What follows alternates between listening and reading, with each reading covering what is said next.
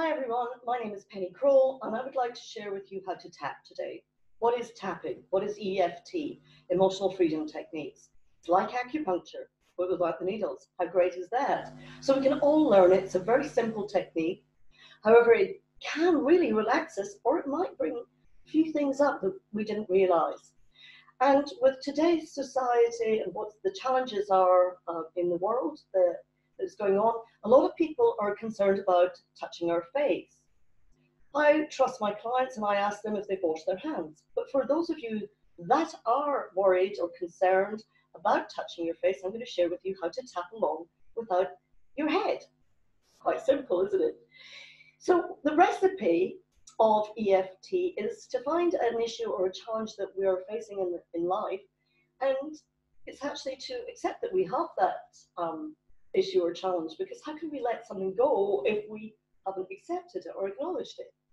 So we start out with a very simple setup statement, even though I have this challenge, and we rate it out of 10. Where's the intensity out of 10? I have this level 7 intensity or level, whatever your level is. And then we add on a positive affirmation. The goal is to get to I love and accept myself. However, not everybody can do that. So let's think about um, statements that you can say with resonance. With, um, I think oh, that's okay, you resonate with. Sometimes it will be, I'm a survivor. Perhaps I can learn to love and accept myself. I accept where I am. I accept who I am. Whatever your positive uh, statement is, we say this. So even though I have this level seven challenge, or whatever your intensity is out of that 10, I choose, or perhaps I can learn to love and accept myself. Make sure that you're clear about your affirmation before we start off. We tune into that three times, and then I'm going to do my head because I've been doing this for 15 years. So and we take a little bite-sized chunk of that challenge. That challenge. Then we come down to our collarbones. That challenge. So we're just touching there. That challenge.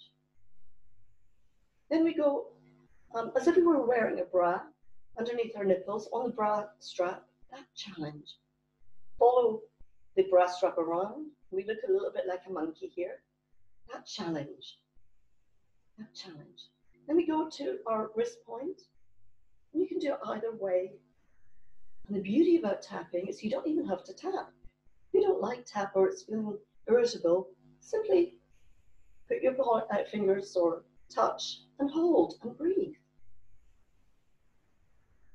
And then go to the fingers. Again, you can hold or tap. And that challenge, hold or tap. It's up to you. That challenge, and every single finger, that challenge, that challenge. And then we can go to the back of the palm between the ring finger and the pinky finger and either hold there or tap between the two bones on the back of the palm. And that's it, simple as that.